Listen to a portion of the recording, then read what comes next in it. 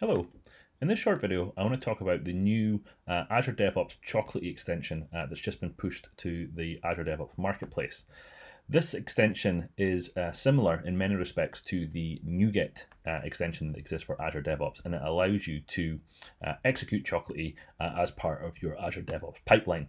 So you can see it here. Uh, if you want to get it installed, all you've got to do is hit the Get It Free uh, button, and that will allow you to install it into your organization of choice. So that's what I've done over here on this test, Chocolatey test Azure DevOps project that I have. So in this project, I've got uh, two nuspec files. Uh, and what I can do is in my pipeline, I can go and have a look here and I can add a new task to this pipeline specifically to, to do chocolatey functions. So if I look here in the build, I'll see chocolatey down here, or if I, I can also search for it. So I'm gonna go, click and, go ahead and click add.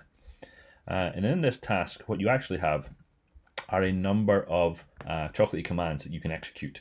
Um, so all of the main uh, build related uh, commands for Chocolatey are in here and available for you to use. So if, for example, you wanted to configure a source uh, as a first part of your build pipeline to then allow you to push packages or to install packages uh, from a certain location, that's what you can do within uh, this command where you can say to add a source, remove a source, enable a source, or disable a source. Um, other uh, commands such as uh, configuring an API key for pushing, uh, executing chocolate config commands, so if you needed to set a specific uh, chocolatey uh, configuration, you can select it from the drop-down list here and then apply a value to it. Um, the other one uh, that is of interest is this custom command. So if there is, is a chocolatey command that uh, you need to execute, but it, there isn't a specific command for it within the, uh, uh, the, the, the, task here, you can choose to do whatever you want. So as example, if I go in here and say list local only, that's not a command that's explicitly included within the task. But if we run this, we'll see that uh, a build is created, a build is queued, and if we let that execute, that choco list local only command will be executed on the build agent that this build is running on, and uh, it will show us uh, what packages are currently installed on that build agent.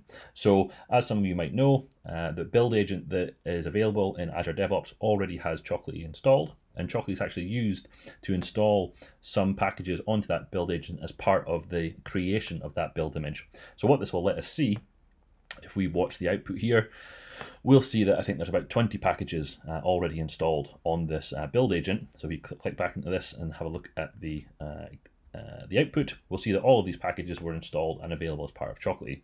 So if the uh, task doesn't include the com specific command that you're interested in, you can certainly uh, run a custom one completely. Now, what most people want to do as part of their build uh, is to run a pack.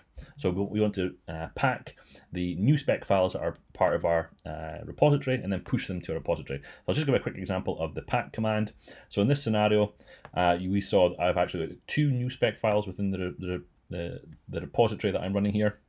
So I can say select uh, multiple nuspec files, and in my working directory is where those nuspec files are going to be located. So that's just by default this repository local path, uh, but obviously you can specify a folder within the, uh, the path that you want. You can also specify obviously the output directory where you want those uh, generated nupkgs to exist. I'm just going to choose the default here, which is the artifact directory. So if I go ahead and save and queue that build again, what we'll see happen is that Chocolatey again will be uh, triggered. It will be passed in the location of that nuspec file, and then it will generate the uh, new packages or nupkgs uh, as part of the build. So we'll see that happen here uh, as part of this build step. So let's just let that run through. And the output of that should obviously be uh, take those nuspec files, uh, run them through Choco Pack, and then place them onto the file system where we specified them to go. So we saw that fly past there. but If I click in here again, we'll see that it's taken that uh, GEP13 nuspec and it's put it into this location. And then I've got a test package nuspec and it's put it into that location there. So hopefully this will be of use to you. Uh, some of you might know that there were already some chocolatey extensions in the Azure DevOps Marketplace. Unfortunately, uh, they at least one of them's fallen out of maintenance and it doesn't work anymore. And the other one doesn't explicitly include all of the uh, Chocolatey commands that are of use as part of the build. So as a result of that, I decided that I wanted to go ahead and create this uh, to work in uh, unison, uh, or to at least to uh, fit with the uh, Visual Studio Code uh, extension that I've also got for Chocolatey. So hopefully this will be of use to you. Uh, feel free to reach out on uh, the GitHub uh, repository if you have any questions about anything. Thank you very much.